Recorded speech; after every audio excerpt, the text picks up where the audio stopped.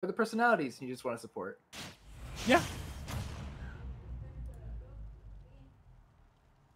Yeah, for Jack Cloud, you would still be enter able to enter the other days of the ladder for sure. Yeah, you can enter every day if you'd like. Yeah, you can. Even if you fail today, you can try tomorrow and the next five days. It's five days of ladders, man, with a $725 prize pool. There's that, there's a reason why we're seeing Sharp and J Mafia out here alongside players like Emperor Gabriel. And Sharp is going to be going the Joker. Okay, so Sharp sticking with Joker. I think Sharp was using Joker in uh, round one of top eight as well. So, but looks like both characters, both players sticking to the characters that they were using earlier in tournament. No surprise. But here we go. J Mafia making a great showing of how busted Yoshi's up air really is. Like, dang, Yoshi got some good aerials. Who thought this was okay?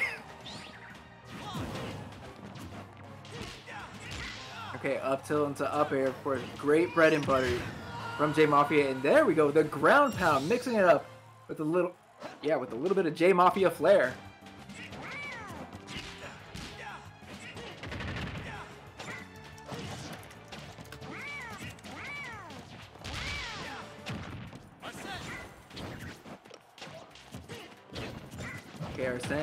J Mafia playing very close quarters, trying to box out from these out of shield options, burning a little bit of that Arsene meter, even retreating to ledge. Here we go again, retreating to the sky. Playing this close quarters again. Very interesting. Looks like he does want to get these safe hits onto Sharp before uh, before Arsene was able to run out. Of course, every time you do hit Arsene or hit Joker while Arsene is out, it does burn up a little bit of the meter. Yeah. Uh, not only in the launch, but just in the initial hit. Here we go, back throw. Nice, able to get the second hit of the back throw, but not enough though. Unfortunately, J Mafia will be landing with a hard forward air, sending Sharp out of the depths and keeping J Mafia on this three stock lead. Yeah, we see some more of those J Mafia emotes. But Sharp is able to clean up the stock. J Mafia is still up a full stock though. And if he continues to play this like out of shield heavy uh, style that he has against Sharp, I think Sharp's gonna have be in a lot of difficult, a lot of trouble unless he starts uh, committing to grabs a lot more. We're not Yeah. really seeing too many grabs. He hasn't been able to go through him, but I do respect it from Sharp because if he does get a whiff on grab, specifically against Yoshi, he will get hit with Nair, and there's a lot of things Yoshi can do if you don't tech, or honestly just from a raw Nair at earlier percents. I mean, he might as well. He has to like he has to use it though. That's the thing. At this point, he's shown J Mafia that he does not want to commit to sh- to grabbing even when J Mafia is in shield, and that's a huge tell. Yeah. Like you have to throw out the option. There we go. Use the grab. Get the up throw up air. Now J Mafia gonna be a little bit more, a little bit more afraid to hold the R button. Honestly, J Mafia though doing an excellent job just kind of maneuvering around Sharp at this point because even if he's not holding shield, it's the way that he's able to move around. And Yoshi's Nairs have are pretty big hitboxes, but they're very committal. So for Sharp, he's gonna have to look for some sort of whiff punish or to punish the end lag in general on Yoshi. But just look at the look at the mileage that Sharp was able to get from that Arsene compared to his first one.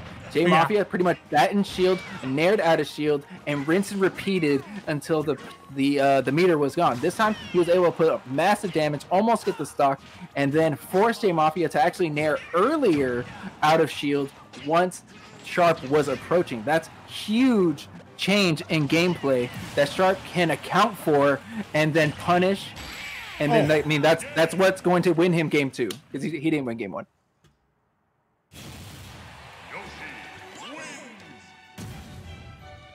Yeah, uh, J Mafia pretty much showing off that you know what, he doesn't even need Mii Brawler. At times, he could definitely do this with Yoshi, and honestly, he's showing a lot of the strength with the character. Uh, Sharp, like you said, Z-Fly, you might have to adjust his game plan a little bit because he wasn't going for, like you said, he wasn't going for grab a lot when he should. When he should be looking to get some of those burst options that you would normally see Joker with. He was kind of respecting J Mafia a lot on the shield. Yeah, he just gave him too much freedom and respect when it comes to like having the shield up. Like, yes, Yoshi has great shield options, so maybe instead of nairing uh, to approach and like getting a safe nair on shield, just do an empty hop and go for a tomahawk. Get that tomahawk grab, get the down throw or the up throw, and force your opponent to maybe respect your approach a little bit more instead of just sitting in shield. Yeah. All right, we'll see how game two treats Sharp a little bit differently and what he's adapted from game one. Or will J Mafia continue this really, I was going to say, almost domination that he had on Sharp in the first game with a two stock lead that he was able to get out of? So we'll see how things go. Yeah, there's another approach with Nair. Um, Sharp was able to, to get it down tilt out of it this time, though. Here we go. Getting those grabs. That's what I want to see. And then, yes, just shoot up the Yoshi. Give him the pop pops. Shield, that is not a safe place for you anymore. Oh, gets the drag down, but the execution is really difficult on Wi-Fi. Arsene activated in the nick of time. Sharp able to come on stage before J Mafia even gets the chance on the edge guard. Mm -hmm. Look at this, sitting in shield. Just blow it up give him, give, grab him. I was gonna say, like the one character that isn't prone to getting shield poked in general compared to most characters is Yoshi, just because the egg actually covers the whole body at all times. And also, mm -hmm. I feel like Yoshi's shield is probably the strongest in the game compared to the rest of the cast. But nonetheless, Ooh. Tetrakarn is a really good way to stop Yoshi's aggression on that up air. Yeah, that's right. Arsene is gone for now, but 87%. I don't think Sharp is going to be able to build up enough meter to get a second Arsene unless uh, J Mafia is really just continues to tack on damage with like small hits. But I don't know, Yoshi just has. I feel like Yoshi hits too hard for what this cute little animal should be, and uh, I'm sure by the time we see Sharp reach about 130%, that the stock will disappear. Boom, yeah. 129. All right, 130%. Let's see if that stock's gonna go.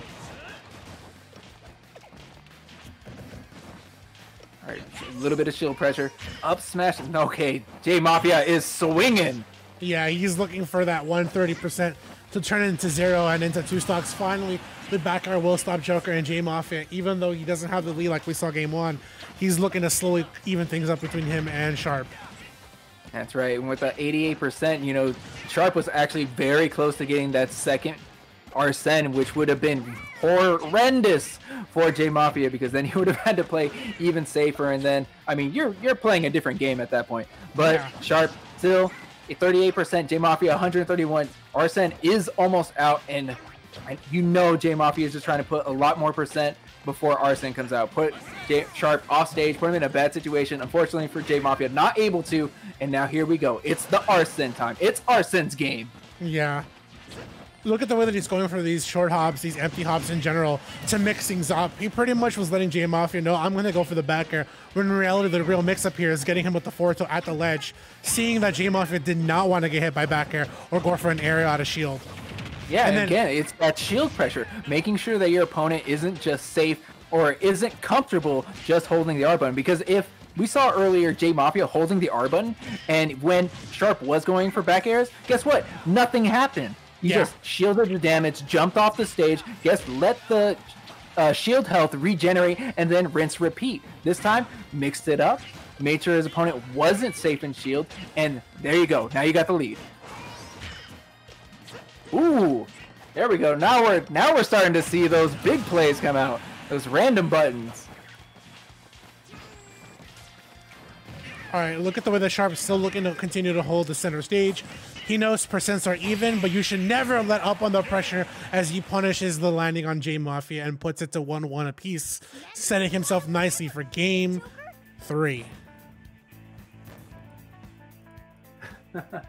That's right. Sharp able to uh, bring it to a game three after some great adjustment on his part and definitely putting a little bit more pressure on J Mafia. Are we going to see the brawler? Uh, we'll see, man. well, he is going to. Oh, oh he's going back. Yeah, he's going, going back. back.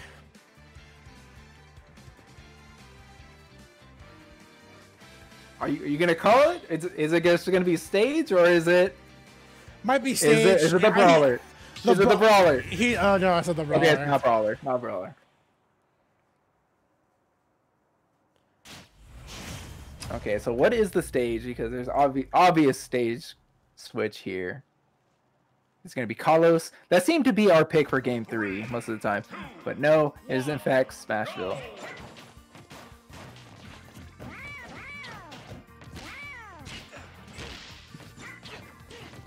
with as evasive that J Mafia likes to be at points, I can understand why he wants to pick a stage like uh, Smashville. It does give him a lot of room to use his second jump and a sort of retreat to a, a quote safer area, um, where really he can either mix up his opponent or even take a moment to himself to really reflect and see like what does he need to do. A Yeah. great down throw into out there. Arsene is out. Oh. Horrible place to land. Yeah, good for Sharp to honestly punish the landing. That's the thing about t- Smashville in general. You had that center platform, combos and all that with certain characters, of course, but that center platform remains static, and it could be really good for Yoshi if they try to go for a landing where they go for the Yoshi down B. But in this case, Sharp was going to stop all that opportunities as he sees the Oh landing on the platform. And normally, you need to be careful when you land towards center stage because you do risk getting juggled by characters or losing stocks like the way he did. Yeah, I mean, especially landing right on top of your opponent who has a great up smash like we saw, but getting the drag down up air into down smash. We saw Sharp go for that in game one. He wasn't able to do it, but guess what? He tried it again, and Sharp with all the momentum here in game three. Yeah, Sharp Nair, definitely couple bringing more things Nairs. back. More nairs. Here we go. There's the forward air. J Mafia starting to fight back. And there's the panic button coming from J Mafia. You notice that whenever J Mafia starts to feel a little bit pressured and feels like I need to land a hit on my opponent, he goes for the the the down B and then will up smash immediately after. He's done Yeah. that like three times already. I do like the fact that Sharp is using Joker's superior movement, honestly one of the best movements in the game. And he's using that to get dash dances, moving in and out of Yoshi's range, looking to get whiff punishes. Because, like you said, if J Mafia is going to, for something very strong, Sharp can be in the position to punish it like he is when he sees J Mafia in the air. And he's going to put this 2 1 1 into 2 1 as Sharp moves on into winners finals against Epic Gabriel. That's right. J Mafia had a great showing. I honestly wish we could have shown the uh,